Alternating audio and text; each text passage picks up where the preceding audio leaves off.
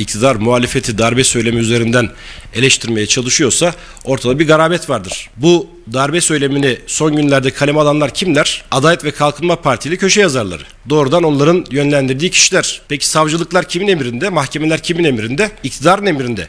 Bir çağırıp sorsunlar bakalım nereden kaynaklanıyor bu söylemler? Neden bunları yazıyorsunuz? Bunlarla ilgili bildiğiniz bir şey mi var? Bildikleriniz bize bir anlatın diye bir sorsunlar. Devletin bütün kurumları şu anda iktidarın kontrolünde. Özellikle referandumdan sonra başkanlık sistemine geçildiğinden beri kuş uçsa Tayyip Erdoğan'ın bilgisi de aynı oluyor. Dolayısıyla buyursunlar, onlara sorsunlar önce. Cumhuriyet Halk Partisi darbelerden mağdur olmuş ve darbelere karşı da göğsünü gere gere karşı çıkmış bir siyasi parti. Bizim daha fazla söyleyecek bir şeyimiz yok. Bizim durumumuz çok açık bu konuda.